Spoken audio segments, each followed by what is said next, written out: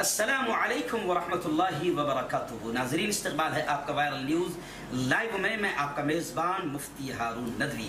नाजरीन, अल्हम्दुलिल्लाह, आज बहुत बड़ी तादाद कराम की जामूम बालापुर ज़िला अकोला महाराष्ट्र के जश्न दस्तारबंदी और इजलास में यहाँ मौजूद थी। अल्हम्दुलिल्लाह, हमारी खुशनसीबी है कि आज के इस इजलास की सदारत जिस शख्सियत ने फरमाई, हज़रत मौलाना हलीमुल्ला साहब कासमी हमारे दरमियान मौजूद है, जो जमीयत महाराष्ट्र, हज़रत मौलाना अरशद बदनी की जमीयत के जनरल सेक्रेटरी भी है, अल्हम्दुलिल्लाह आज मौजूद है। एक ख़ास पैगाम आज पूरी दुनिया को और ख़ास तौर से भारत को हम पैगाम पहुंचाना चाहेंगे। मौलाना ने इलेक्शन और वोट की अहमियत को बात करते हुए अवामनास को ये पैगाम दिया कि वोट डालना है, सारे कामों को आगे पीछे करना है। और एक जो बड़ी बात मौलाना ने कही, और बिल्कुल बेबाकाना अंदाज में मौलाना ने कही कि कुछ लोग अगर मैं कहूँ तो शायद वो फतवा दे देंगे या मुझे मुखालिफ कहेंगे, लेकिन फिर भी मौलाना ने दो टोक अंदाज में कहा कि आप अगर जमातों में भी है तो आप अपने वक्त को आगे पीछे करके किसी तरह वोट डाले। बस मौलाना ही की जबानी इस पैगाम को हम उम्मत तक पहुंचाना चाहते हैं। मैंने ये बात आज यहाँ भी कही, और इससे पहले दूसरे कई एक प्रोग्रामों में कह चुका हूँ कि इस वक्त हमारा मुल्क बहुत ही नाजुक दौर से गुज़र रहा है।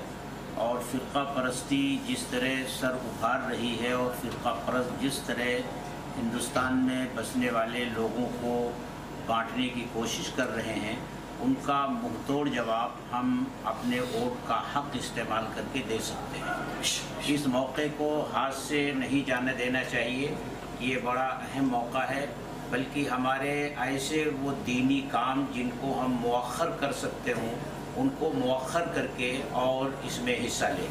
मसलन मदारस में तातील होनी चाहिए और हमारे जमाती अहबाब दावत तबलीग की मेहनत से जो जुड़े हुए अहबाब हैं उनको भी चाहिए कि वो अपनी बाहर निकलने की तरतीब बनाएँ और अगर उनकी तरतीब पहले से बनी हुई है तो अपने निकलने को मौखर करें।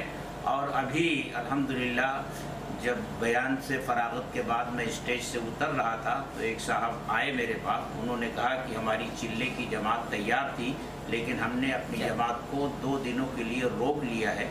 वो यही मकाम पे काम करेगी और वोट देने के बाद हम लोग यहाँ से रवाना होंगे। नाजरीन, इसमें एक बहुत बड़ा पैगाम हज़रत, चंद महीनों पहले एक बाकायदा साजिश या षड्यंत्र चली चला गया था कि कुछ लोग जमात को बदनाम करने की कोशिश कर रहे थे और ये कह रहे थे कि इलेक्शन के मौके पर लाखों लोगों को जमात में निकाल दिया जाएगा ताकि वोट मुतासर हो। लेकिन आज हज़रत की बात ने उसको क्लियर कर दिया कि दावत तबलीग के साथी भी बाकायदा मेहनत कर रहे हैं और इस मामले को बहुत हसास समझ रहे हैं। बहुत अहम मसला है। मौलाना का पैगाम मौलाना हलीम साहब कासमी ने जो दिया है इन न्यूज़ लाइव के ज़रिए से हम पूरी दुनिया और ख़ास तौर से अपने मुल्क, भारत के हर शख्स तक पहुँचाने की कोशिश करेंगे। अल्लाह हाफिज़।